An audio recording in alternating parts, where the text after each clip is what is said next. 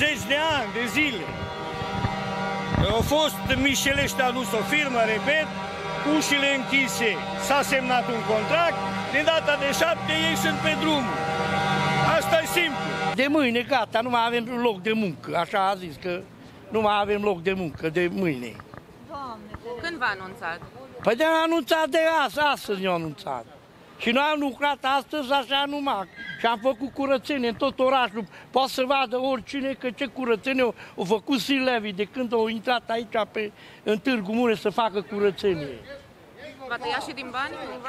Cine e să ne iei din bani? I-au dat banii corect, i-au dat avansul corect, i-au dat salariul corect, bonul de masă ne-au dat, banii de sâmbătă ne-au dat. Ce mai vrem să ne dăm?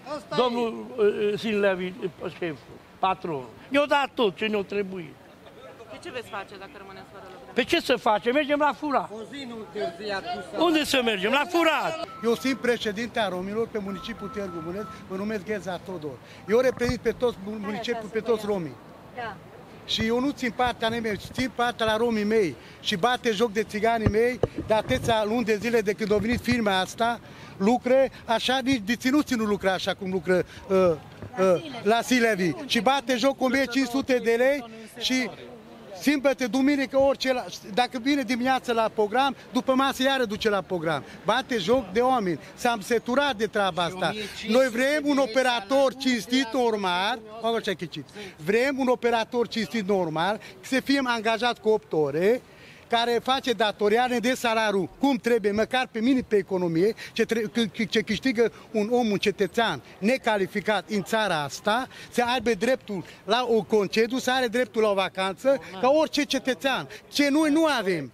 Noi nu avem dreptul la nimic. În momentul de față, raportul Curții de Conturi a constatat că sunteți buni de plată să restituiți 4 milioane de lei. Nu eu am inventat aceste sume. Ce nu dați la o firmă din Târgu Mureș? Dar nu poți, legea nu-ți permite. Dar Lege- legea îți permite să o licitație se fa- o licitație când se organizează, se organizează cu aceleași reguli. Acum eu vorbesc, v-am ascultat, acum vă rog să mă ascultați. O licitație se organizează cu aceleași reguli și cu aceleași condiții pentru toți. Că e din Târgu Mureș, că este din Teleorman, că este din Tulcea, că este din Craiova, că este din Oradea, că este dintr-o altă țară a Uniunii Europene, da, oricine poate să oferteze. Cine dă oferta mai bună în raport preț, calitate, serviciu, acela câștigă licitația.